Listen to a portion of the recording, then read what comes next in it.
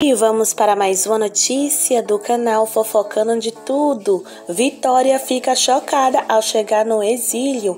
Isso mesmo, gente. Vitória foi a primeira participante do William Record que foi direto para o exílio nesta nova temporada. E assim que chegou, ela ficou surpresa. Vitória disse: chocada, que lindo!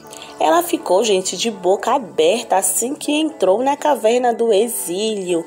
Ela ficou muito surpresa com a decoração de lá.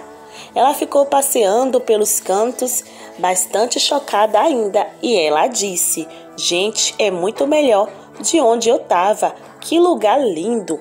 E aí, gente, parece que Vitória ela realmente gostou, né, de ter ido para o exílio, já que ela falou isso, ela ficou chocada e disse que é muito melhor de onde ela estava. Deixe aqui no comentário o que vocês acharam dessa chegada de Vitória no exílio, se vocês gostaram que ela foi a primeira participante a ter ido e até a próxima notícia. Essa foi mais uma notícia do canal Fofocando de Tudo. E aí, gente, o que vocês acharam dessa notícia? Deixa aí a opinião de vocês no comentário.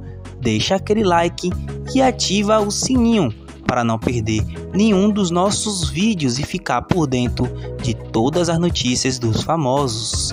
E até a próxima. Tchau.